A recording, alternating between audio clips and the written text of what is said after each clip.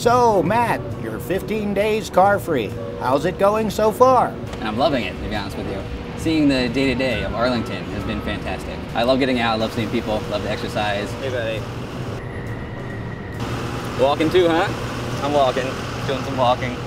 Leisure walking. Uh, there's all kinds of unexpected challenges when you're going car free. My chain popped off of my bike, and I have no practice in getting a chain back on. Today, I'm meeting with Chris Eatough from Bike Arlington.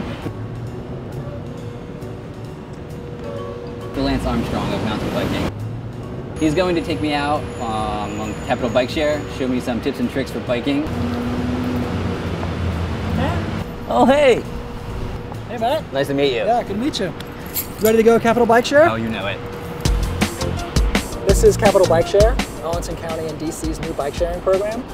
We've got over 100 of these stations with a whole bunch of bikes in. We can pick a bike up from any station, ride wherever we want to go, dock it there, don't have to come back to the same station. The bikes are maintained by a, a, team of mechanics, so you don't have to worry about a flat tire or a broken chain or anything like that. The bikes are always in good shape.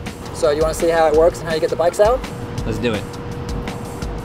So this is the kiosk. You walk right up and use the credit card, even spontaneously without signing up ahead of time, and get a bike right here. You have your membership key for Capital Bike Share. You can come right over to the bike, and all you have to do is insert the key right here, and the bike will come out. All you need to do is adjust the seat height. Just do that right here. Open the lever, slide it up, and the bike's ready to ride. To complement my life of leisure, we are headed to Godiva today. I am in a rewards program where once a month I get one piece of chocolate from Godiva for free. Pretty much guilty-free chocolate since I exercised and biked to get it.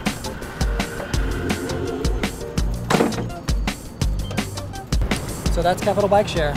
Enjoy your chocolates. Thanks a lot. You've earned it. Will Matt stay carefree and car free through the rest of the challenge? Or will Kyle get the best of him?